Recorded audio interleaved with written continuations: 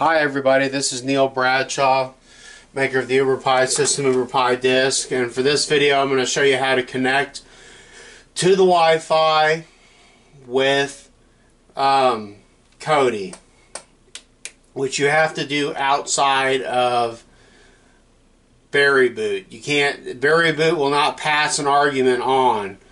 So I'm booting up right now. You got the four raspberries, everything's good. I'll have 10 seconds before it's going to want to do anything, before it's going to automatically boot.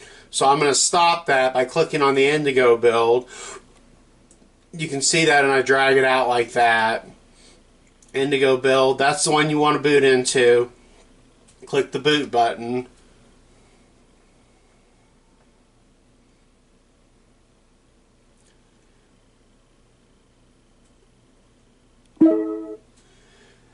And then where you want to go is where that cog is right there.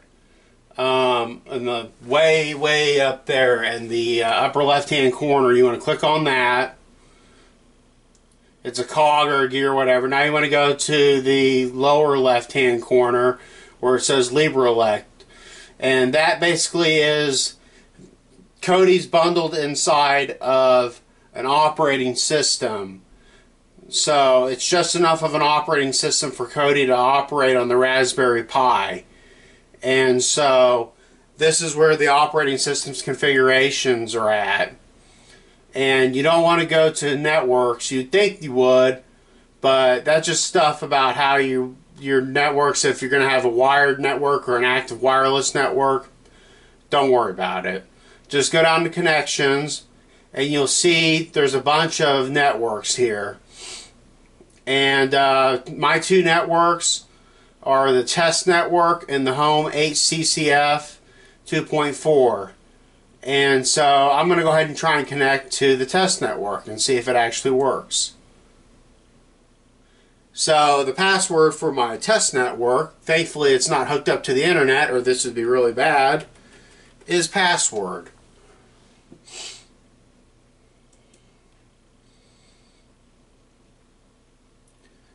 And it's ready, just like that. And that's how simple it is to connect Kodi with LibreELEC to your Wi-Fi. And this concludes that video, this video rather, uh, for uh, how to connect LibreELEC to the Wi-Fi.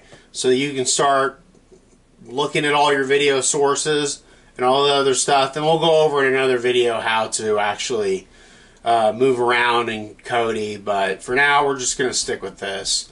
Thanks for your support.